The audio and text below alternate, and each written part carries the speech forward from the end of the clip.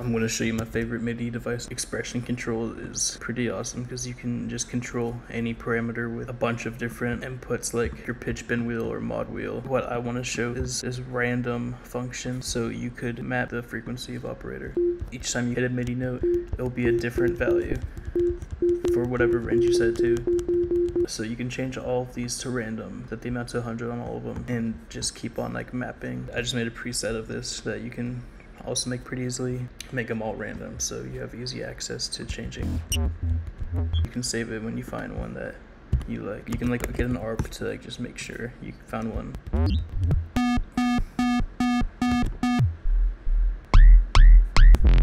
Now, when you make this, it could start using a lot of CPU. So I mainly just use this for sound design sessions, really.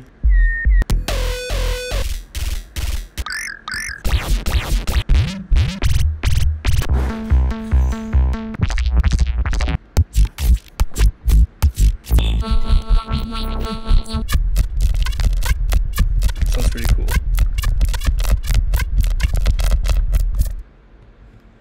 I'm gonna save that.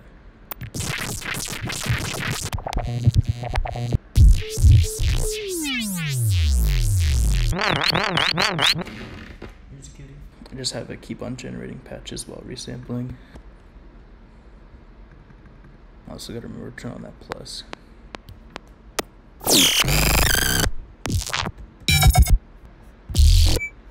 Yeah.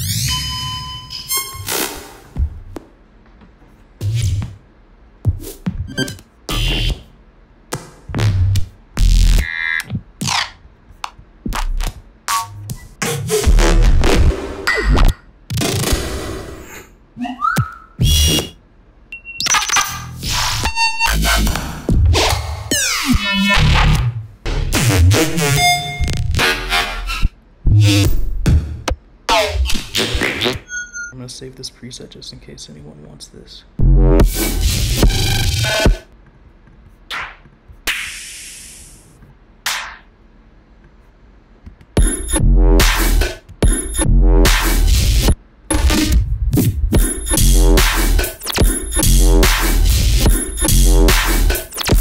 Okay.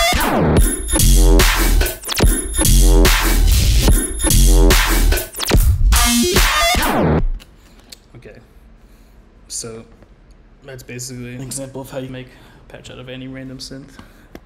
Um, you do it with Wavetable, you can do it with Serum, you can do it with just like Effect Racks, you can do it with anything. Save the patch, or or just set, uh, record a sound design session, chop it up and put it in a drop or something. Be sure to pre-save my new EP coming out on July 21st. It's in my link tree. Join my Discord. Call your grandma today, or your mom, or your brother or your sister, or your dog or your cat.